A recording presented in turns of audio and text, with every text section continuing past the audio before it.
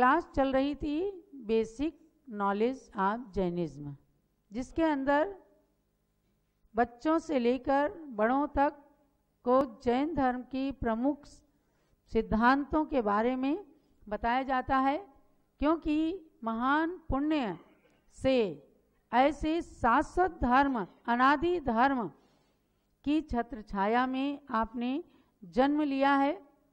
जो जितेंद्रियता पर आधारित धर्म है, जिन्होंने भी कर्म शत्रुओं को जीत लिया, वे कहलाए जिन या जिनेन्द्र, भगवान। और उनकी हम उपासना करते हैं, इसलिए कहलाते हैं जैन। जैन कहलाते हैं। जैन जाति नहीं है, जैन है धर्म। आज जाति से जुड़ गया, क्योंकि जब जातियों की संख्या जनगणना की जाती है तो उसमें आपको भी लिखना ही पड़ता है।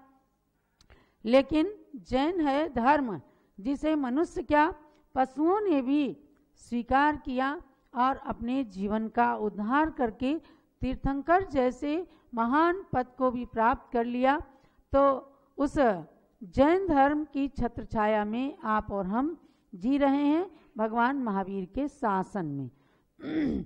इसमें अनेक बातें नमोकार महामंत्र से लेकर हम पहुँचे हैं सम्यक दर्शन तक।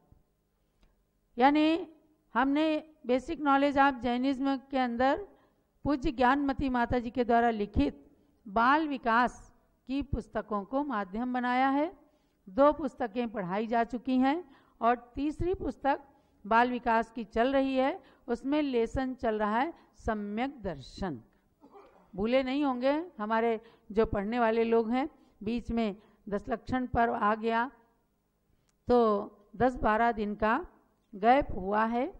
हम लोग कल ऋषभगिरी चले गए, जहाँ 108 फुट के भगवान ऋषभ देव की वंदना करके अपने को कृतकृत्य माना और पूज्य गणनी ज्ञानमती माता जी के निमित्त से हमें अपनी आत्मा में सम्यक दर्शन को दृढ़ करने का एक माध्यम प्राप्त होता है। आप लोग भी जब जाओगे अभी तो भगवान के दर्शन खूब अच्छे से आँखें खोल करके और नीचे से ऊपर तक एक बार भगवान के पूरे अवयवों को, उनकी छवि को निहारना और उसके बाद आँख बंद करके हाथ जोड़कर भगवान से जो चाहे सो मांग लेना। समझे प्रतीक कहाँ हो?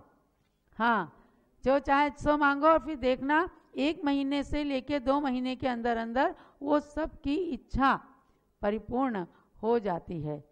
तो ऐसे भगवान के लिए सम्यक दर्शन की बात जब चलती है कि असंख्य प्राणी आगे आने वाले चिरकाल तक भगवान के दर्शन करके आत्मा में सम्यक दर्शन की प्राप्ति करेंगे। अब कहोगे सम्यक दर्शन क्या है? सम्यक माने अच्छा और दर्शन माने देखना।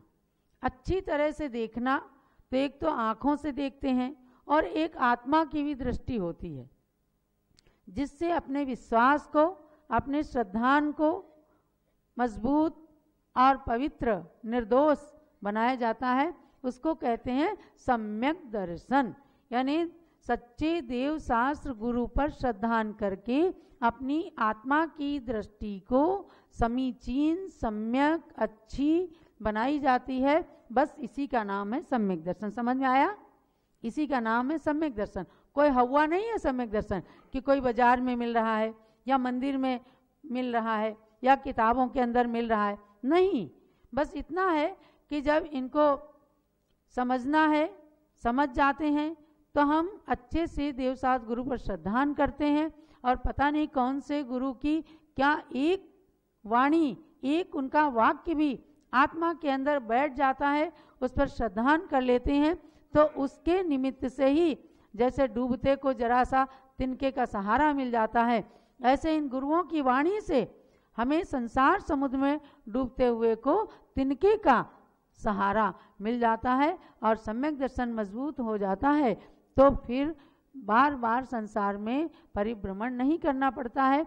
जितने दिन करते हैं, उतने दिन अच्छी अच्छी गति में जाते हैं। कभी देव गति में, कभी मनुष्य गति में। जितने महापुरुषों के उदाहरण आप पढ़ेंगे कि जब से उन्होंने सम्यक दर्शन धारण कर लिया, अणुव्रत ले लिए, पापों का त्याग कर दिया, फिर वो नरक में नहीं गए, फिर वो पशु नहीं बने।